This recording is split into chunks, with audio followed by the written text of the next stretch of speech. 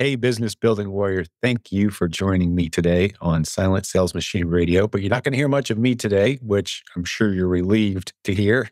We've got another great Coaches Corner episode with Brian and Robin Joy Olson, two of the great coaches on our team. They always bring such great insights from their coaching experience.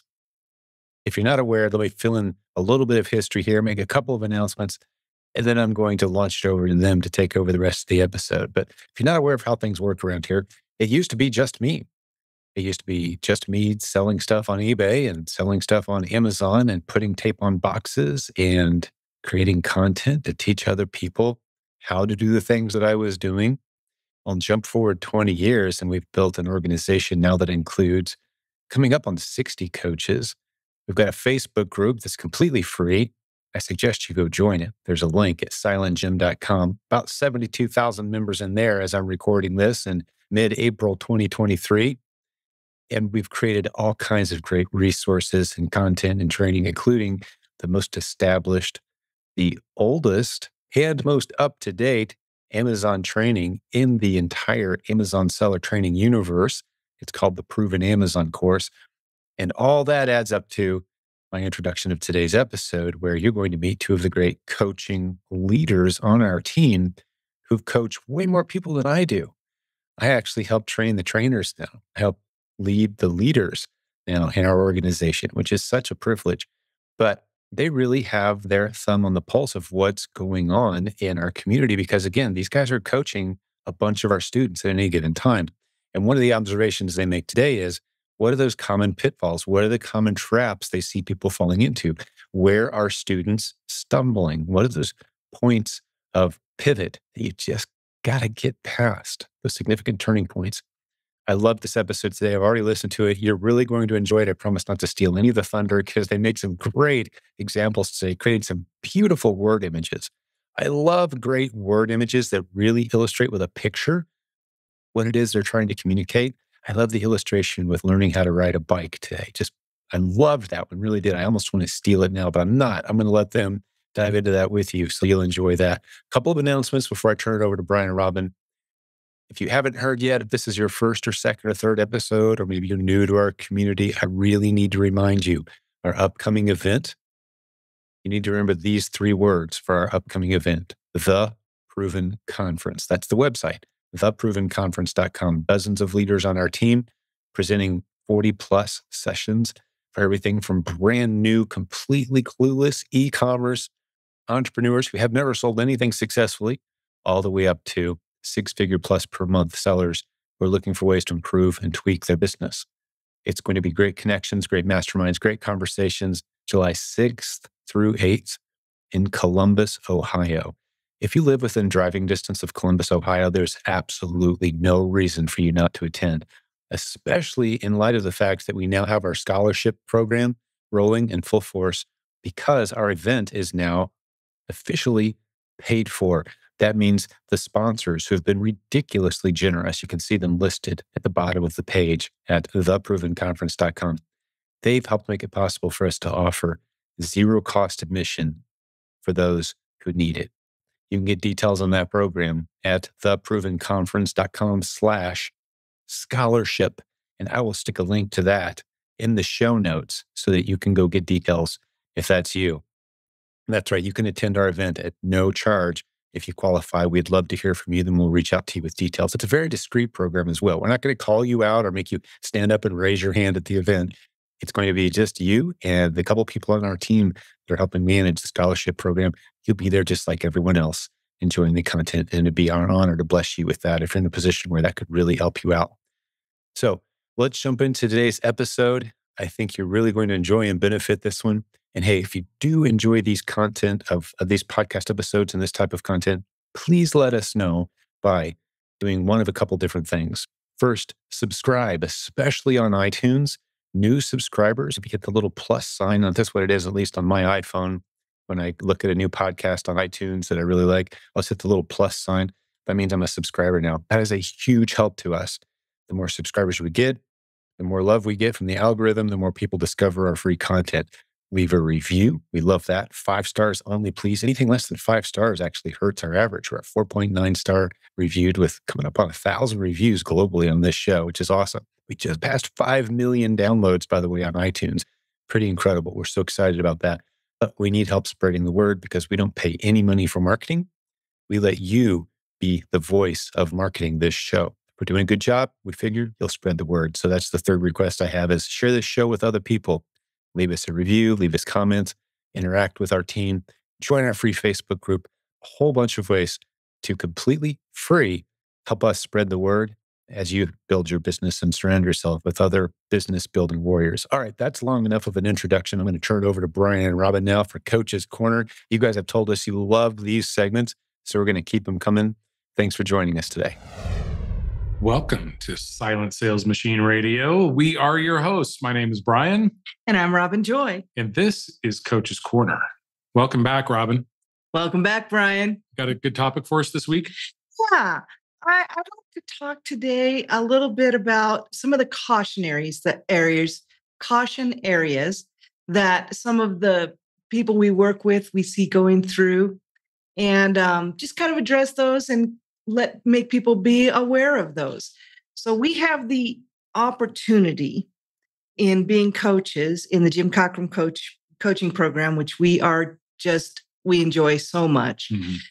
Uh, we have the privilege of seeing many people go through the process of building their first hundred replen ASINs, tested ASINs that they can put on their list and build their book of business.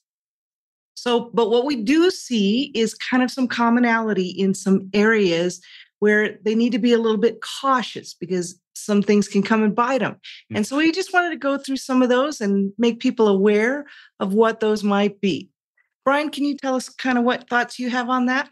Well, I think it's a great topic because we are so fortunate in the coaching space to yeah. be able to see, and all the coaches are, to be able to see a number of businesses and uh, a lot of times you see that start from ground 0 mm-hmm. and go to you know $50000 a month and all stops in between and i think the point of what you're saying or we're going to dig into a little bit here today mm-hmm. is when we see folks decide that either they make the decision or the decision gets made for them mm-hmm. sometimes that uh, you know they're going to take their foot off the gas on yeah. this kind of where those spots are because it is it can become sort of easy to say, ah, hmm, this was too challenging for me mm-hmm. to figure out how to get systematized or whatever. And that's kind of what we want to talk about today. When you run into those spots, mm-hmm. where we when we see them, typically, yes. when, where where do we see when that happens?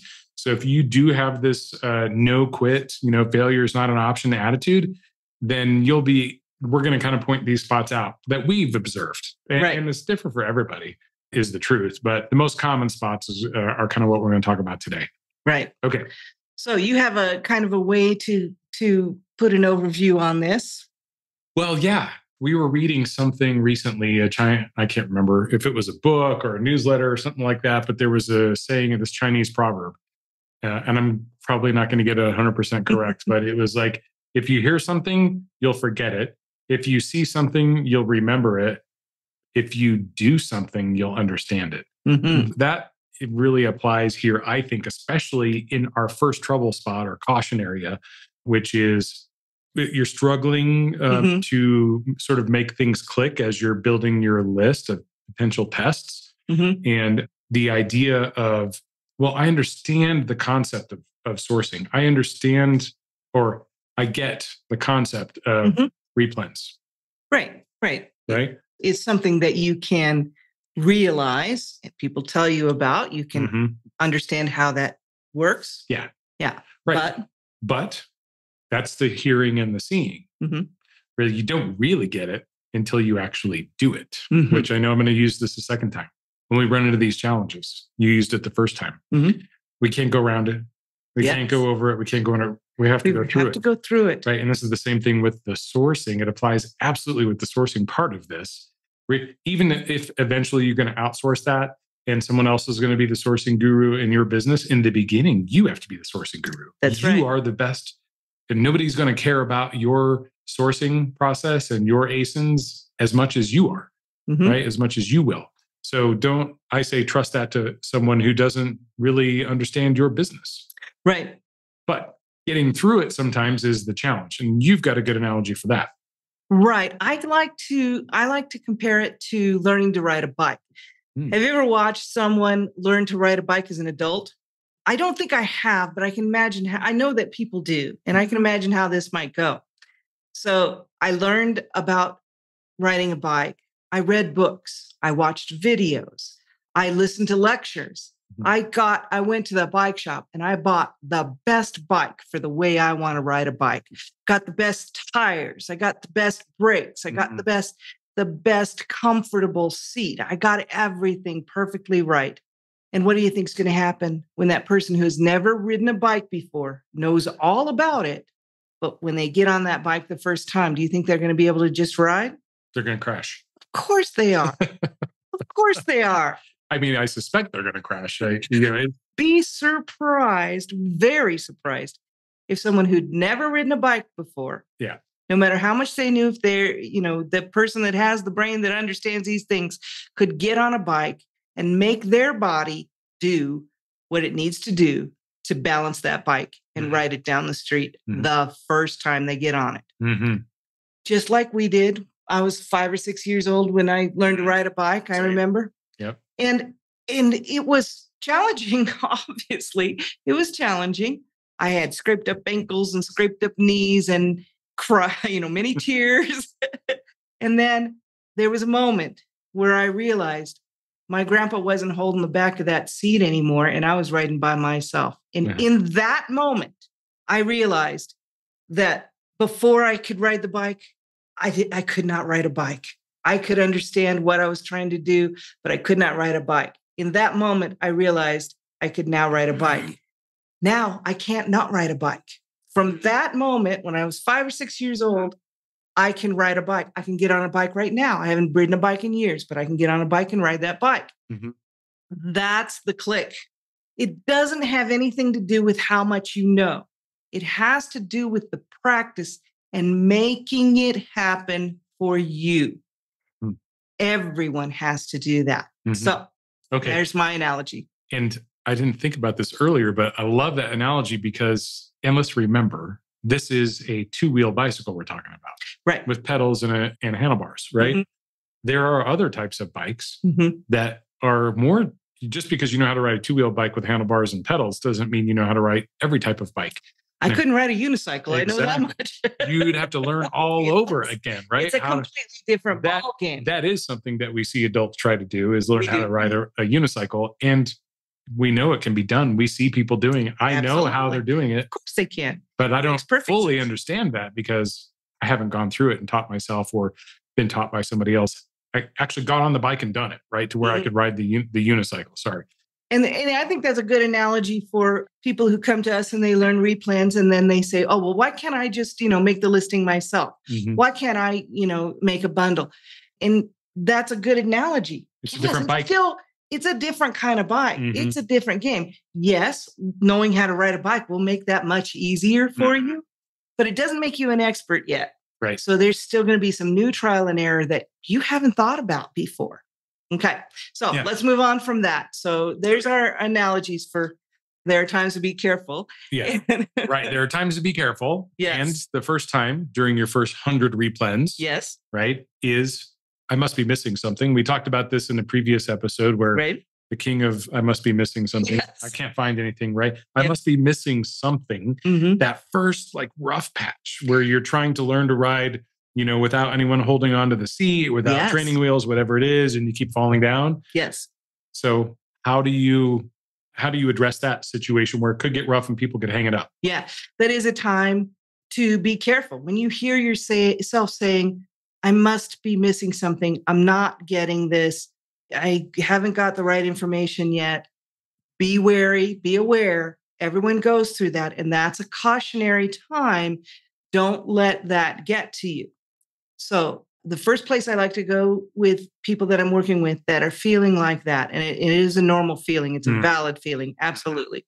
Check what, check your process, check your time spent. We talked about this before. Mm. Check your time spent and make sure that you are working the items that you said you were going to work during that time and those don't get lost because they're difficult mm-hmm. or uncomfortable. Mm-hmm. And check your process. Mm-hmm.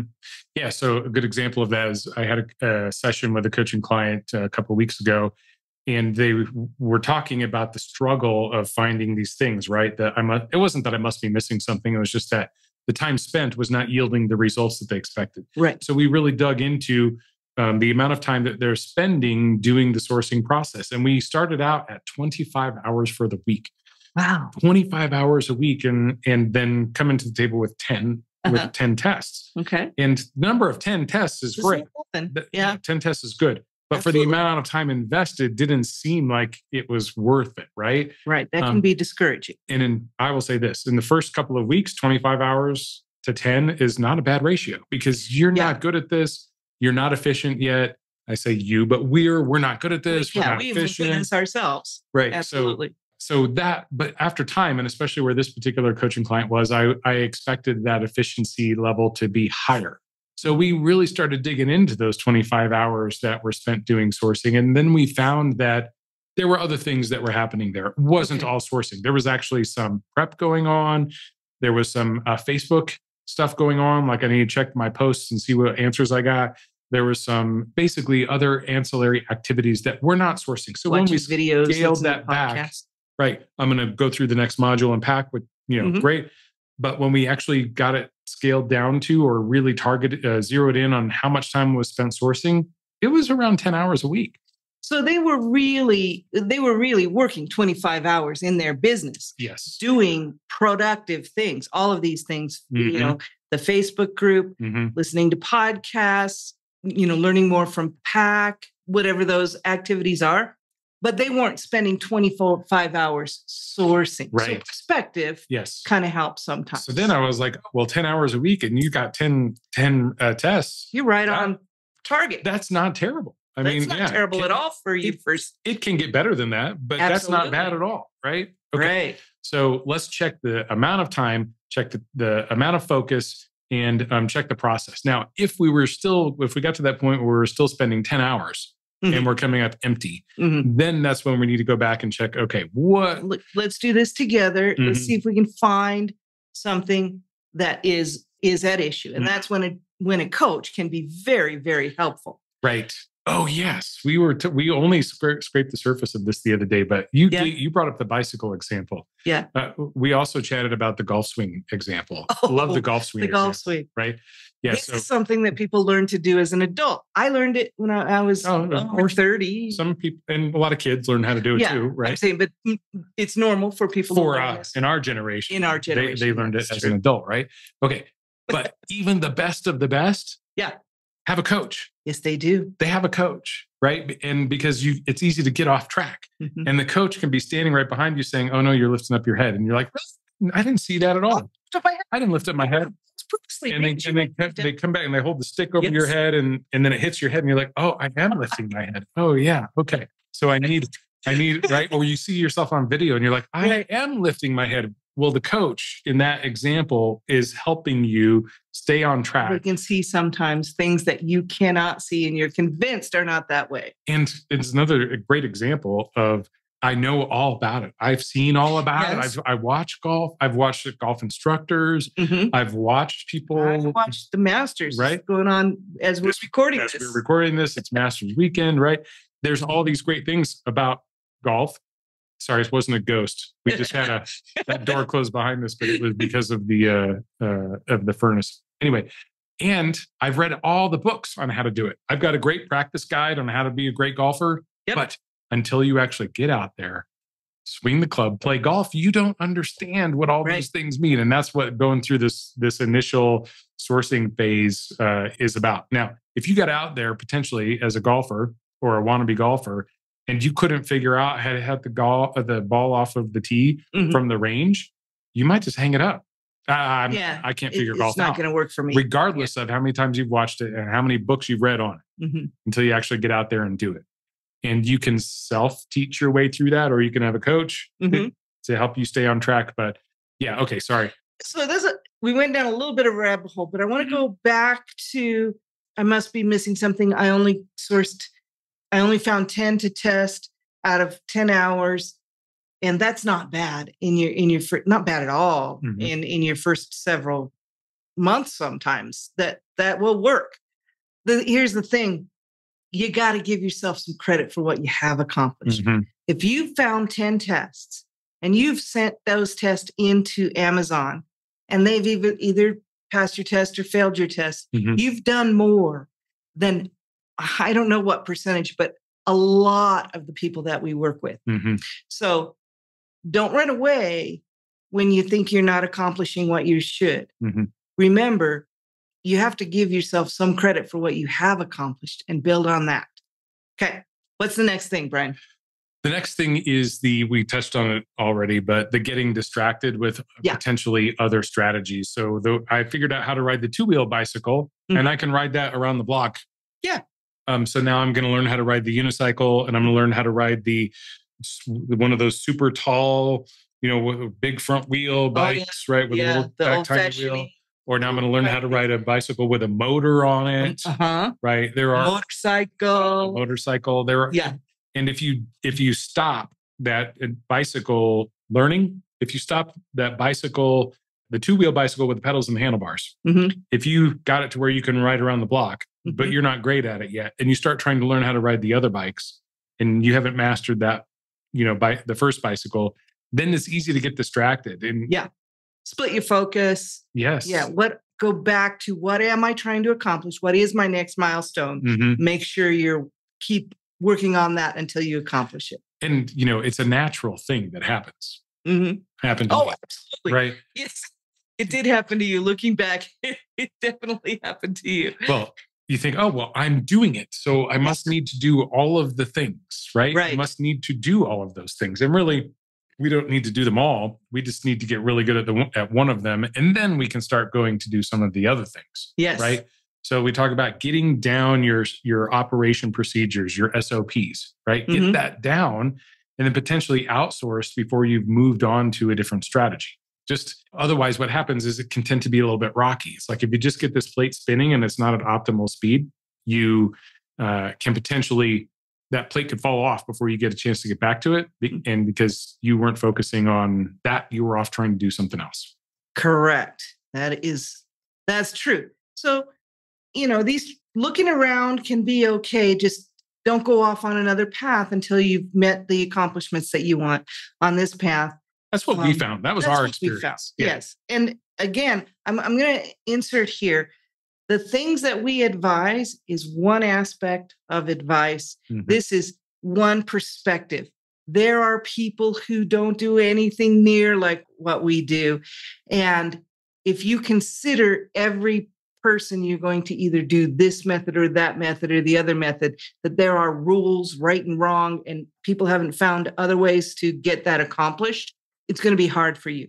But what you have what we all have is being in part of this community, being part of PAC. If you're a PAC student, there is so much information and so many different aspects of advice. You get to glean all of that. You get to decide which ones you're going to try and which ones you're not. You get to decide which ones work for you and which ones don't. Mm-hmm. You are in charge of your business. Absolutely. So, and even even in the coaching space, yes. right? Just because you might be a coaching client of ours mm-hmm. doesn't mean that you have to do things in any the way that we do, right? right? Exactly. It's you take the you take our experience, you take your own experience, and you take experience from any other, and then you make your own decision. Right, and we will support that. And and, and most of the coaches mm-hmm. have no problem that yeah. I'm saying that. Mm-hmm. If you have decided this is what you're going to do and this is what you want to try to make work, then we will support that. Mm-hmm. And we will also support it if you change your mind and decide you want to try something else. Mm-hmm. But we're not talking about methods. We're talking about ways to get your goals accomplished. Mm-hmm. You know, we support other methods as well, but ways to get to the next step. Mm-hmm.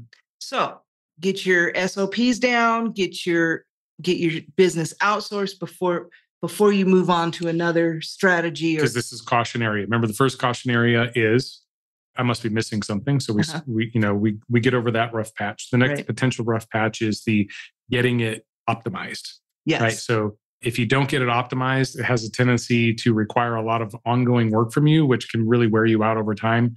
This is this is what you talk about getting to the point where you can work on your business, not in your business. Yeah, we want to get we do want to get to that point where we're strategists as opposed to taskmasters. Right. Right. Okay. Yeah, because it, it can wear you down at a certain point and and it can limit you. If mm-hmm. you're the only person working in your business, mm-hmm. you're limited to what you can do. Yeah. So all right. One other trouble spot, potential trouble spot that we see a lot is when people start feeling like in their first few weeks, all they can do is find ASINs to test, mm-hmm. right? There's nothing else going on in your business. You got to get something sent in. To do that, you've got to find ASINs to test, and you got to look at a lot of ASINs to find a few that you can test. And you've got to test quite a few ASINs to get some replens to, for those tests to pass and go onto your replens list. Not all of them will pass. Some of them will not pass. But if you've protected your capital, you can probably get your money back mm-hmm. and go put that into another test. Mm-hmm. But it can be feel like a grind at first because you're not having sales, you're not having excitement, you're not having those bars that people post in the Facebook group. Mm-hmm. That's not happening for you yet. You have to lay some groundwork. And it can mm-hmm. be a little boring to go through those mm-hmm. tasks mm-hmm. if that's all that's going on, which is one of the reasons you want to take a break and listen to a podcast and mm-hmm. that's perfectly normal absolutely give give yourself a break i like to use the pareto principle i like to you know work for a few i'm sorry that's not the pareto i'm talking about the pomodoro method hmm. sorry where you work for a few like 20 minutes and then yeah and then take a break for five minutes mm-hmm. and yeah keep myself going but that can be a spot that can be kind of dangerous because if it's too boring you're not going to like it you're not going to enjoy it and you're going to want to do something else. Potential rough patch that that you can get over. Just know, uh, just knowing that we're going to potentially face this boring time, yeah. um, and but again, be dedicated and committed. Embrace and, it. Yeah, it, embrace it. Yes, yeah. That, that's that's this, key. This yes, this goes back to the advice from our our brilliant grandchildren who are seven and four. yes, you can't go over it. You uh-huh. can't go under it you can't go around it. Yeah. You gotta, gotta go, go, through, through it. it. Yep. Okay. Excellent. Now, another trouble spot. This is one of my favorites. Yeah. I, there's no good favorite. There's no favorite trouble spot. That's not a. my favorite time when I might be when I might have a chance of not making this work. well, it's the so we send so we've done we got over the first few trouble spots of like learning how to ride the bike. We you know we yeah the monotony and the whole testing not getting thing, distracted, right? our SOPs together. Yeah. Oh wait, I forgot. Before we move on to this, there was a point I wanted to bring up in the previous. Uh, oh, okay. The previous item here, which was the remember that we're testing. Yes. To find replens, right? And yes that testing process is it is that just that it's a test it's just a test how many times have we got coaching clients who have already started down this path mm-hmm. and they're saying hey you know i, I got stuck in this asin mm-hmm. and uh, yeah amazon came in amazon cut came, the price in half right somebody else showed up or you know yeah somebody showed up with 400 units and they you know outpriced me how many of those do you have in stock 72. 72. Oh my gosh. How come you have 72 of those in stock, Robin? Well, I was testing it to see if it would work for me. well, no. But it sells a whole lot. Yeah. It sells like 150 times mm-hmm. Mm-hmm. Yeah. This goes uh, sort of, uh, it, it's and it's on the other side of inch deep, mile wide. Yes. Right this uh, idea that well it looked so good it sells 150 a month so i bought 70 i've even yeah and it happens to people too sometimes that i've been selling it i can't keep enough in there so i just bought a whole bunch and send in there mm-hmm. after the test mm-hmm. same thing happens mm-hmm. it can yeah. happen yeah so that is absolutely a trouble spot because then that can make you think oh this doesn't work mm-hmm. every time i you know take a risk i get my hand slapped Every time I take a risk, it goes against me. So I tell you, inevitably, this happens to us. Yes. we we've, this happened to us, you know, without fail for a while. It's like every time we that it doesn't happen yeah. to us if we break our own rules. yes, that is so. And and uh, as Robin was saying earlier, like the rules for your business are going to be decided by you. Yes, we decided the rules for our business, and we put them in there for a reason. Right. And then every time we went against those rules, we got hurt yes. somehow. And so this this is a great example of this where I like to say or we like to say the test is what three to five, four to six units. It's Yeah. not that it's not that many units, right? Right. Now, and then we test every single week. When we're making our shopping list, it's just like a test every week. Mhm. And if it passes the test, we might buy it again the next week Mhm. and buy it again the next week. Now, I realize We may not buy it next week because it's not doing well right now. right, right. So as a result of that, we miss out on some sales Yes, because we it's possible we could have sold 72, that's true. but we only sent in 10. Right. So it so we missed out on potentially some other sales there. So could, how do we mitigate that? I could argue with you that Mhm. if we sent in 72, we've missed out on a potential other 60 other ASINs that we could have sent three or four in Mhm. on as well. So that's not the only way to get ASINs back. To Mhm. mitigate that, we have a, you know, our rule is 12 to 15 at a time. We may do that every week, Mhm. but not more than that at a time. Everybody has their own rules. That- and this is our rule. Okay. I know that there our experience and how we yeah, our- yeah, you you make your own. I know that there's another. I hear it in the community a lot. Never buy more than a month at a time. Right. Month that, That, that that's can great. be a rule. and right. then you and then you use that as your sort of baseline, and and then you set that the line for your business wherever wherever, wherever feels the most comfortable. right. Right. Right. And remember that again, you're going to test it and then decide how many you're going to send in at a time. So your Mhm. test should be very, very small, hmm low risk, hmm low investment, high chance for success. hmm So the reason you have high chance for success in testing, we've talked about this before, is because whether it passes the test or not is not the only thing you get out of that. You might make a little bit of money even if it doesn't meet your requirements for your for your replens list. hmm You're going to show Amazon more sales. So when your first 100 aces, you want to show as many sales as you can so that Mhm. Amazon will list lift some of those restrictions in Mhm. brands and categories that you're dealing with right now. Yeah. So there there are several reasons other than that to do tests, but don't be married to any ASIN. This is uh, Jim Cockrum Mhm. uh, teaches this all the time. Don't be married. It can go come and go. It is not. It's a moving animal. Your book of business, once you get it built, is going to be a moving animal. But in the first hundred ASINs is what we're talking about right now. You're building that book of business, and in your first ten ASINs, you don't have any place to lay that risk. Don't make your risk higher Mhm. until you know that overall you can sustain that that risk. So keep it small until you build that business. Hundred percent. So you, Yeah. if you've got twenty Yeah. ASINs that you are testing or even replenishing, don't go seventy deep in one of them. No, right? If- Yeah, I maybe like to you say- get to a few hundred ASINs and you're and you've got risk spread much, you know, better. Then yeah, if you want to do that, do it. sure. Well, I like to say don't spend a large percentage of your inventory capital on one ASIN. Mhm. If that ASIN becomes you're spending a lot more on that one than any other ASIN overall, Mhm. or a large percent of your overall inventory, it's probably too much because your other ASINs can't sustain that. Again, after you get through your first 100 ASINs, get some uh, 100 ASINs on tested on your replens list, you're going to look at this a little bit differently and you're definitely going to have more capital to work with.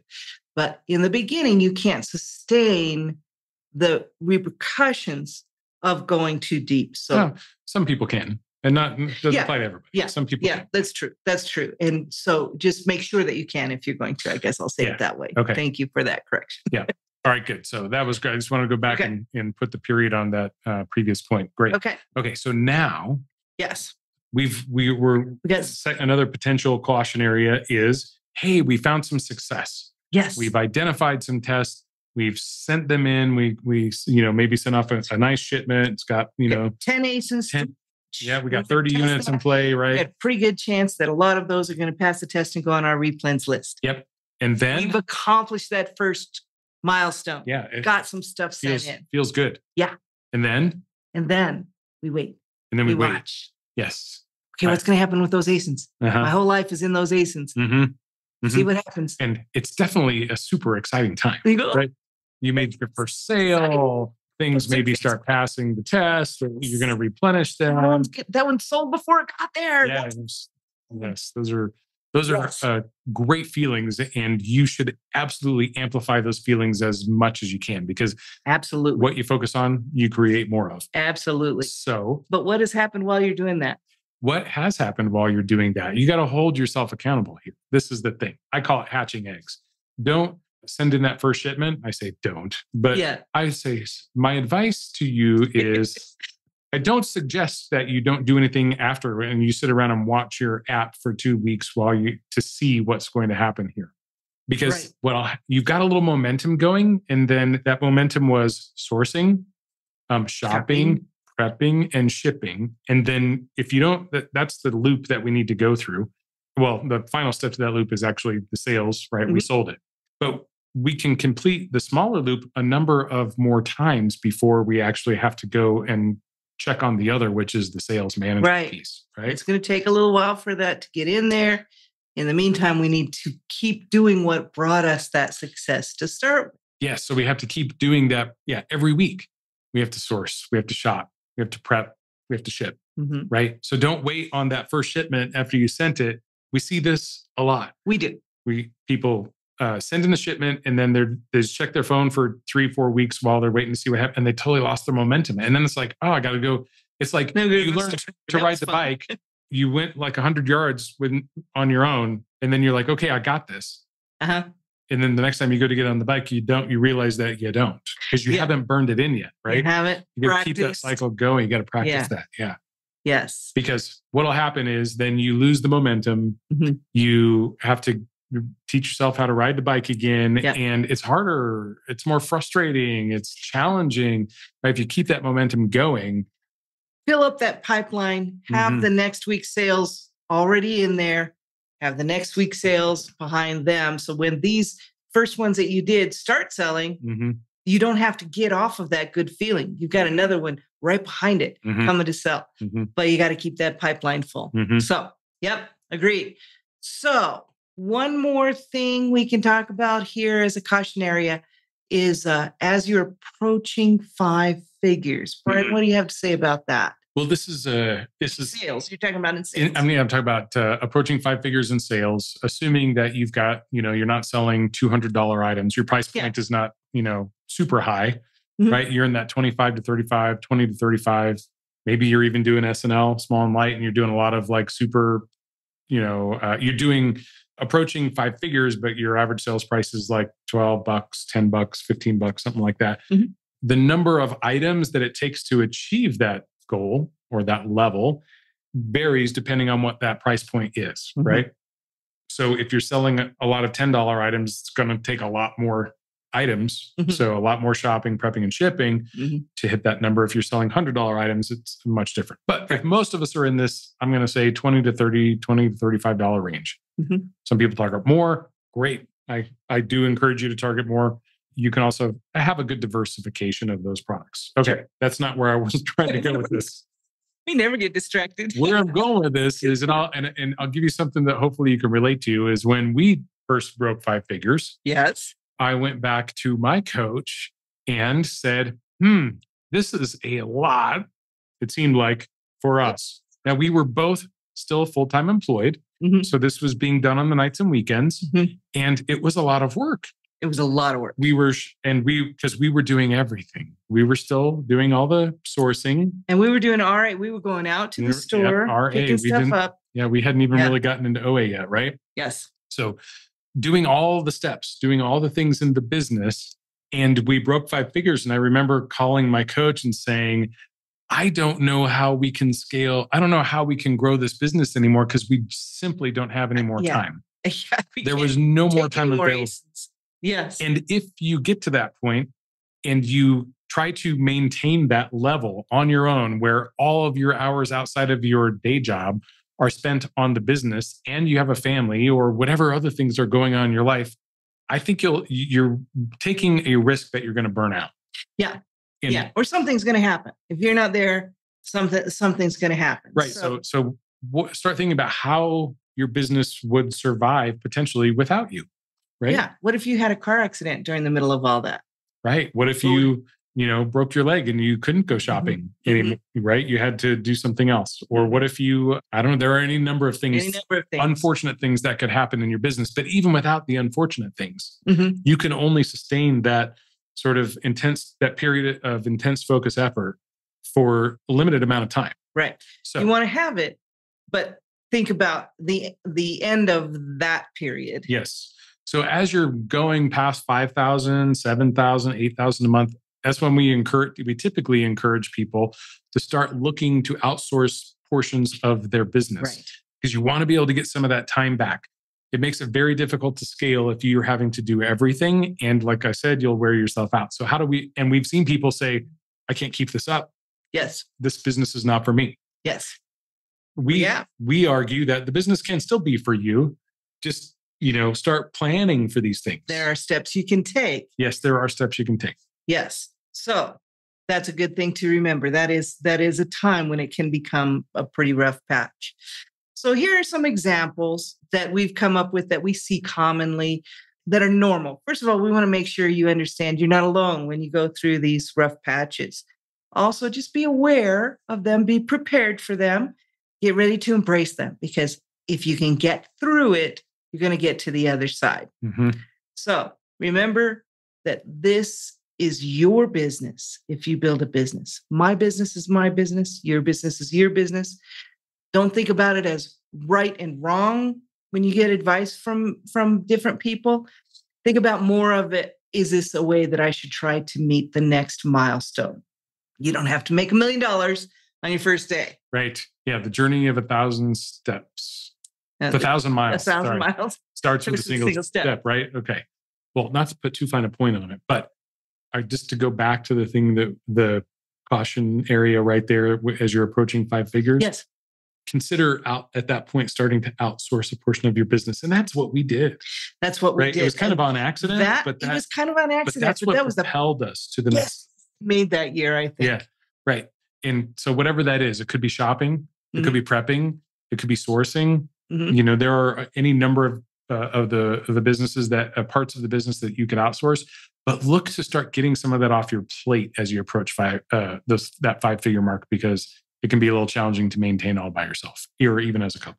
Agreed. Okay, Agreed. So, again, we say, what cures that, Brian? more ASINs. More ASINs, whatever the problem, Mhm. more ASINs. Yep. we- More ASINs is going to make it look better, I promise. yes. All right. Hey, this was good. This you is ready for a good. good, uh, a nice weekend? The weather's starting to warm up a little bit here where we are. Is the sun shiny? Maybe 70 beautiful degrees downtown today. Denver today? Mhm.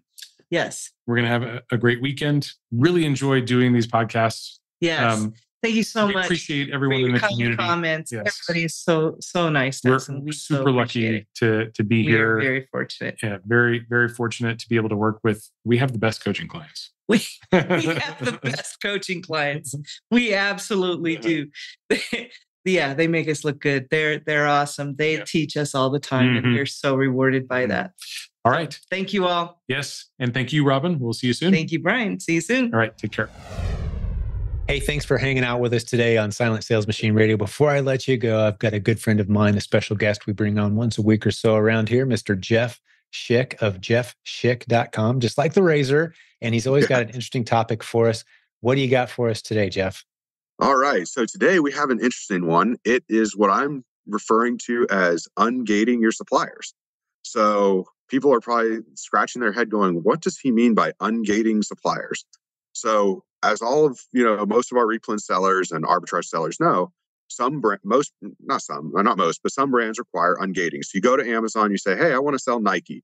And the first thing they're going to ask you for is an invoice saying, show us that you bought Nike product from a legitimate source you know why are they doing this they're doing it to make sure that you're buying from legitimate sources that you're not buying from you know say like goodwill or you know any sort of you know market that's not acceptable to them they want to see that you're buying from reputable sources so you you buy a hundred pairs from uh, Alibaba. Nike. right Nike's on Alibaba. same thing with crocs don't buy crocs on alibaba you Don't will buy- end up with we just we avoid an Alibaba altogether in our community typically. But anyway, didn't want yeah to don't buy don't buy anything to sell on amazon on alibaba put it that way unless it's a private label item then then it's of questionable. Of yeah. your own. Yes. And then please be cautious. Okay, we're derailing. right. Done, yeah, done with that one. So what do I mean by ungating your supplier? Well, if you go to Amazon, they're going to make you ungate where you bought it from before you can sell. Well, I, this is my challenge for sellers, and I'm challenging you guys. When you find suppliers and they've got great pricing, and it seems too good to be true, and there's they're you know they're vendors like they're calling themselves wholesalers, mm-hmm. you should make them ungate themselves. And you're saying, what do you mean make them ungate yourselves? Probably what you're saying. That's what I'm saying in my mind as I'm saying it. So, so, but what I'm thinking, what I mean by ungate themselves is we should make the, our suppliers live up to the same standards that Amazon makes us live up to. Because if we're not willing to challenge a supplier and say, hey, I've never heard of you before, but this seems like a great deal. So prove to me that your products are authentic, mm-hmm. then we shouldn't buy from them. Because at the end of the day, if their products are too good to be true, you're the seller of record. So you're the one that holds all the legal liability in case of if it's a defective product, you know, maybe these were recalled units that were supposed to be destroyed, or maybe they're counterfeit. They could have been stolen. They could be, there's any number of things that could be with them, or they could be 100% legitimate goods. But if we don't challenge our suppliers that, to find out, then we don't know. We, you know, we're just blindly walking into it and taking it that it must be true because the supplier has a really nice salesperson that told me so. Right. Now, this is within reason. I mean, you know, if we're going to Kohl's, we're not going to make them ungate themselves because Kohl's is not going to sell you counterfeit Nikes. Similarly, if we're working with a you know national distributor like CDW or you know some massive you know distribution company, I, I used to buy you know pet products from AmerisourceBergen, which is a huge trillion dollar pharmaceutical company. I would never go to them and say, "Give me your supplier's invoice to prove that your stuff's authentic," because they'd just be like, "What's your account number so we can close it?" you yeah. know, like so it's, you know, within reason. You know, if they're publicly traded company, you probably don't have to worry. I mean, I'm not going to say you don't have to worry, but you probably don't have to worry because you've got all sorts of great federal laws like Sarbanes Oxley to keep you from having to deal. They're probably not selling you counterfeit products. But on the other side of the equation, if it's a supplier that you've never heard of, maybe they've got, you know, five to 10 people that work for them, you know, they might have a big warehouse, but at the end of the day, they they're not if they're not, you know, what we'd call first tier distributions, you know, that those massive national or big regional distributors, we need to know where they're getting their products from because it's okay to buy from a wholesaler that buys from CDW because you don't have an account at CDW. It's not okay to buy from a wholesaler that buys from a friend who bought from a friend who then bought from supposedly Best Buy overstock products that might really be selling shoplifted merchandise. Or, and so, shelf pulls, Amazon shelf, pulls from some yeah. bargain bin outlet in a strip mall somewhere. or Amazon liquidation, you know. Right. I had someone recently come to me and they said, "Well, Amazon sold them all their unfulfillable inventory, and that's their their wholesale model is they buy this unfulfillable inventory unmanifested, and then they sell it to Amazon sellers to sell on Amazon." I'm like, "That's not that's not good. that's not a that you can't list that as new. First off, and second of all, we have no we have no verification program in place for any of this stuff. We don't know if that was shelf pulls from Amazon from third party sellers or Amazon themselves. Right. So, long story short, we need to be asking these small, you know, these smaller distributors provide your supply chain. Now, some of them will say, "Hey, we'll give you your this invoice, but it's to be redacted." Fine, as long as they're not redacting important stuff like who they're buying from they give you, you know, I had one invoice that, or one supplier one time show a, our seller a redacted invoice and they blocked out the name of the vendor, the order number, the date, all the information except for just the line item in question was the only thing they did not block out, but they did block out the price. So it just had, you know, the name, the SKU, and the quantity. Well, that's not very useful, right? Because we can't ascertain anything from it other than I've got a white sheet of paper with a lot of white out applied to it. it. Yep. But if it had been a real, you know, invoice that had, you know, maybe the prices were blocked out, maybe account numbers were blocked out, that's fine. But if we knew, hey, this came from CDW, that's fine. We need, just need to know where stuff's coming from because just because someone tells you we buy this from here or we buy shelf pulls or we buy you know overstock from Best Buy, yeah, prove it.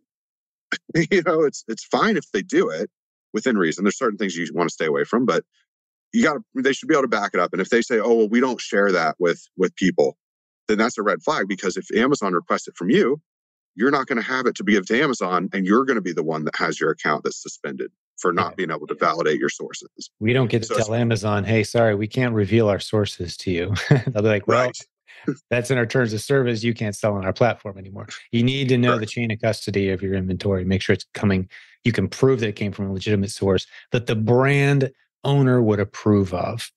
Right. That's the bottom line because the brand yes. is the one challenging you at that point, going, "Hey, I don't think that's legitimate." Well, now it's up to you to prove it. So right. As a reseller, that's part of what you got to deal with. And if anyone's thinking to themselves, man, this sounds kind of complex, well, that's why you need Jeff Schick on your team. it's not expensive so, at all. How can people work with you? You can sign up. We've got a monthly retainer right now. It's still $89 a month, but it will be going up to 99 pretty soon uh, once we finish the new website. So, you know, lock it in before we have the fancy new website. And it's, uh, you know, that is the price that we're going to be offering people for, you know, we don't, you know, we'll be grandfathering them in at, um, but it's jeffschick.com. And it's just one of the many things people bring to our team. You know, you can schedule phone calls with me at any time or one of my paralegals. We'll jump on the phone with you. We'll walk you through. Hey, this supplier looks good. Or, hey, this supplier's got some red flags that are standing out to us. We're happy to be part of that, you know, part of that journey so that you're not having to face this alone and wonder, I wonder if this is a pl- safe place to buy from or not. You know, yeah. use us as a leverage. And, Absolutely. and quite frankly, we've probably, you know, there's some suppliers people bring to us. Like last week, I had someone come to us two people, two clients, same supplier, both brought up, Hey, have you heard of this company? Oh, yes, I have. and then we got to talk about why they were a not safe company to purchase from. So, and why we had put them on our do not buy list because they had failed some of the the checks. You know, for instance, one of the big things that we noticed when we did digging, you know, on the on the front end, it looked like it was a U.S. website. Turns out the site was really based in China that was mm-hmm. something that we had determined with you know a third client when they first brought it to us so then two other sellers got to benefit from that because they said have you heard of this site before and we said yep they're based in china don't buy from them so. Beautiful. Yeah very useful service. Jeffschick.com there's a link in the show notes as well. And can we have you back again next week my friend? Absolutely. We'll be Let's here. again. All right. We'll talk Thank to you, you then. Appreciate it